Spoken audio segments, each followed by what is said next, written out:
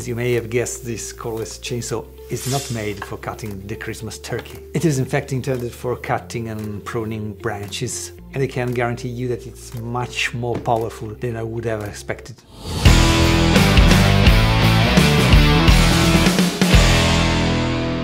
As I mentioned, this cordless chainsaw was a real surprise and with this 4 ampere hour battery I was able to cut for 25 minutes dry and green locust tree about uh, 10 to 15 centimeter diameters and also a 20 centimeters log of black locust so of hardwood. I had it tested also to a professional who cut a dry locust log and therefore very hard wood and in this case the battery lasted only 10 minutes. However with two batteries he has been able to cut 770 pounds of of woods. I expected that, as this cordless chainsaw is made for pruning, not for cutting down trees. However, it's possible to use a more powerful battery than this one, but they will be heavier. And by the way, a great feature that I found of this cordless chainsaw is that with this battery is perfectly balanced, as you may see, and therefore this prevents damaging your tendons of the wrist. The body, so without the bar and the, without the battery, weight only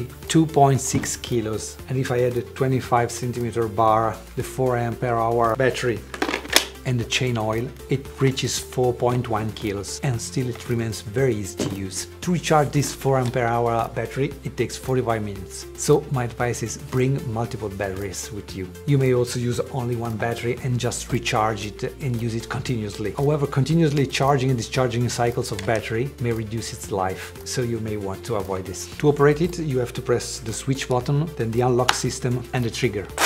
If you leave it without using, after 2 seconds it will turn off automatically. This is very useful to avoid unnecessary drain of battery. On the other hand, if you have to use it frequently, it's sufficient just to push and hold down the unlock system to prevent it from shutting down. It's also equipped with a triple control that will shut down the chainsaw when, for example, it senses an high absorption of current in a short time, trivially when the blade jams and gets stuck, or when the absorption is for a long time. So, for example, if I'm cutting continuously very big logs. Finally, this protection system also intervenes when uh, the battery charge is not sufficient to, to guarantee the performance for which this chainsaw is designed. A big advantage of a petrol chainsaw is that when you prune at face height, you don't have the exhaust smog on your face. Moreover, it's not very noisy and has no vibration, like with the combustion engine. The most useful thing uh, I found is that when you are up on a tree, to turn it on, you just need to push the trigger button with one hand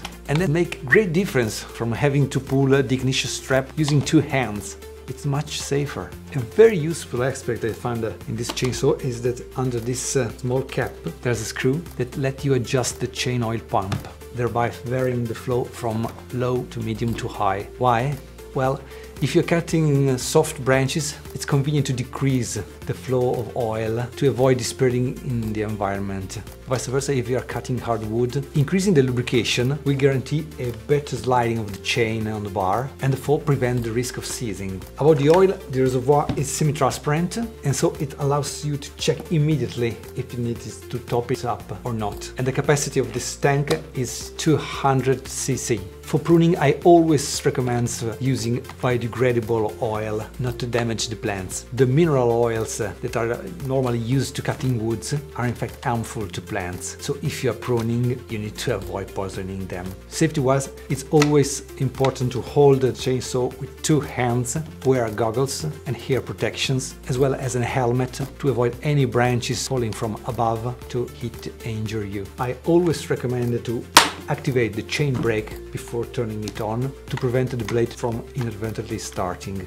It's equipped with a carabiner clip so that can be hoisted into altitude and a feature that I appreciate a lot is the metal crampon which has the advantage of being very durable and helps holding the branch still while cutting it to avoid kickbacks. The chain it comes is made by Oregon so among the best in the world but you can fit any other brands as well and this model has uh, a 25 centimeters bar, but you can have with 30, 35 uh, centimeters bar and also 25 centimeter carving bar. One last advice that I would like to share with you is at the end of the season completely empty the chain oil, put in an engine oil and let it idle for at least 5 minutes. At the end empty this oil as well and then you can store it. All this is necessary because uh, the chain oil contains a binding agent that causes the oil to stick to the inside of the bar so that it's not easily dispersed and if left for a long time while the chainsaw rested, this glue can harden and thus damage the pump and all the chain oil pipes.